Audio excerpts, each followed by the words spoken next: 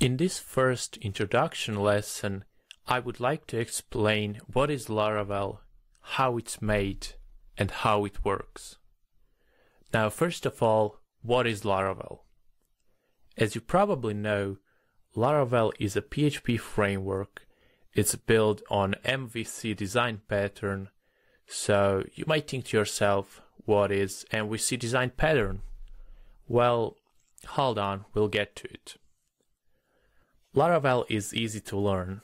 Honestly, when I started coding in Laravel, I was amazed how simple it is comparing to all other frameworks I worked with, such as Symfony, Zend, and CodeIgniter.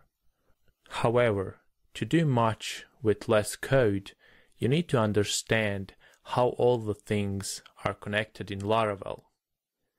Today, Laravel is the most popular PHP framework and it is must know for every PHP developer.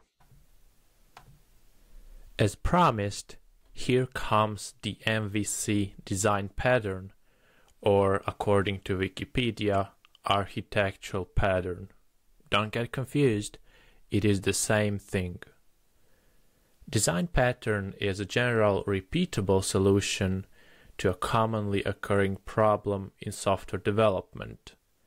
It is not a finished design that comes in code, just a description or a template for how to solve a problem.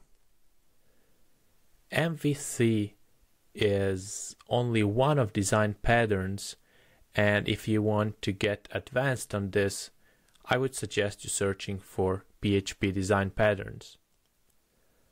Let's break up MVC to model, view, and controller.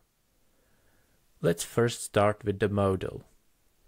It is a class that maps to the data relation and potentially bridge tables. Now, if this sounds confusing, let's say that we are building a blog application. It has users, articles, and comments. Now, user is one model, article is a model, and comment is also a model. So, when you're about to create a new user, you're referencing to a model, not database table. Model will take care about everything in the background. Cool, right? But model can also be a bridge of multiple database tables. But don't worry about it now. We will get to it later in the course. Moving on, we got to the views.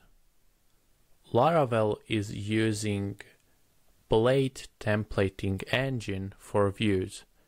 And don't worry about it either. In the view, you will mainly write HTML code. And we got to the controller. As a backend developer, I mainly write code in the controllers, and it is where all the logic code lives. Let's say you want to display a list of latest articles on the main page. Well, you would get collection of articles in the controller, sort them out, and then simply send that collection to the view. A lot of students ask me, hey, do I need to be good at math to be a backend developer? Well, the answer is no. I'm terrible in math, but I can think logically, and those are completely different things.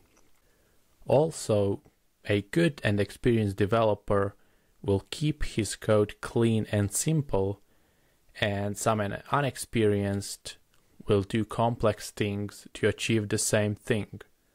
And when he look at the code a month after, he will have a hard time understanding what he was trying to do. A little advice on that.